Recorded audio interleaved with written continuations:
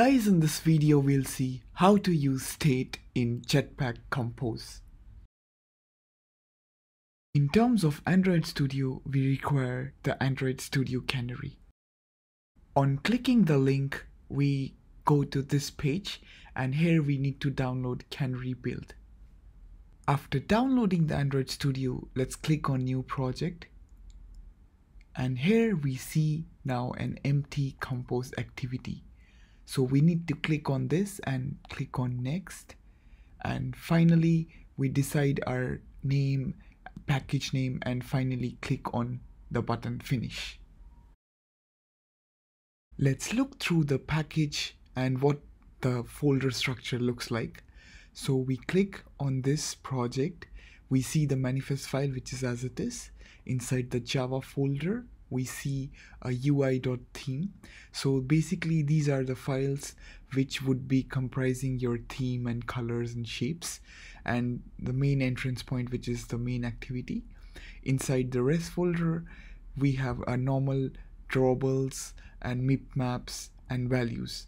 And notice that there is no layout file layout.xml since this is using Jetpack Compose. This is our main activity.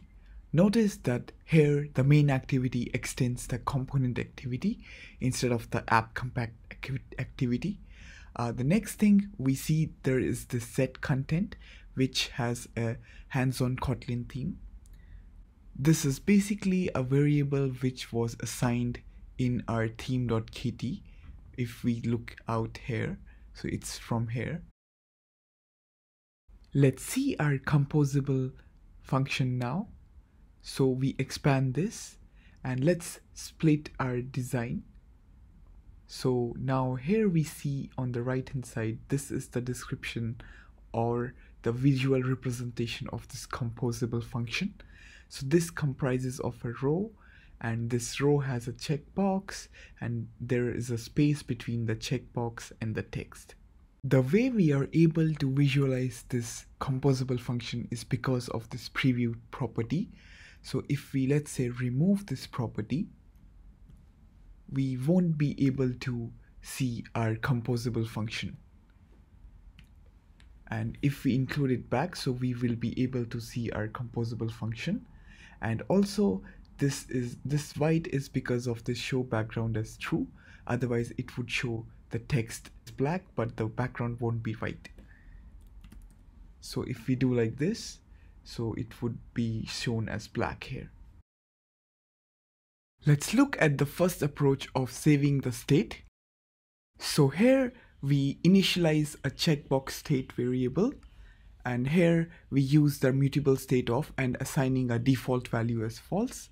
Inside our checkbox, we use this checkbox state variable, initialize its value to the checked, and on check change, we assign the value if it's changed to the current value. And let's now run this function. So here we see our checkbox. If we click on it, it marks as true. Similarly, if I unclick, it marks it false uh, the inside our composable function, we now have our logic inside it, which makes it hard to reuse. And also remember doesn't take care into the configuration changes. So let's say our mobile device was shifted from portrait to landscape, it won't remember the state. So let's see how we can solve in the next approach. Let's look at the second approach. So here we use remember savable and rest of the things of the checkbox remains the same. So remember savable basically saves the configuration changes of the state. So now let's run this application. So we see our checkbox there as it is. And now let's see if I click this and make the configuration change, the checkbox still appears like this. And similarly, if I change it back to the original, it stays the same. For decoupling the logic outside this composable, let's see how we can do in the third approach. In approach 3, we lift up the state which is also called as state hoisting. So what we do is we create a composable, another composable custom card state, we take all our logic inside that state and we do the same thing as remember savable and assign the value to checkbox state. In our create custom card, we introduce two additional parameters, checkbox state and on checkbox pressed. And these two values are passed from the parent composable custom card state. Inside it, we pass the custom checkbox state dot value, which is the current value derived from this variable, and also whatever what happens once the user taps on the checkbox. Inside our create custom card, we take use of these two parameters and assign it to checkbox checked and on check change as on checkbox pressed. Now let's see if we run this application. So this is the same result as we have achieved from the past two approaches. We click on the check appears and disabling or unchecking it disappears. Fourth approach which we will see is the view model approach.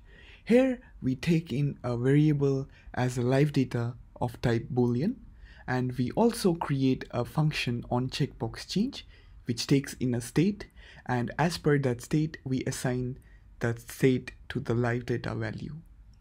Inside our custom card state we take in the parameter of this checked view model which we defined here and here we extract the value of is done which is a live data and we observe its state so and finally the value is passed down to the child composable create custom card which is untouched and is from the previous approach approach 3 pass down the on checkbox change which comes from the item view model. Inside our on create we create this variable of type lateinit and inside we initialize it to check view model. And for rendering the UI we use the custom card state and pass in our variable item view model. Now let's run the application so UI remains the same just when we click on the tick we see the toast I am selected which only appears when the checkbox is selected. We were able to achieve the toast because as we are using view model and now we observe the is done which is a live data and whenever the status is true we show the toast. That's it from this video guys. Source code and article links are mentioned in the description below and thanks guys for watching.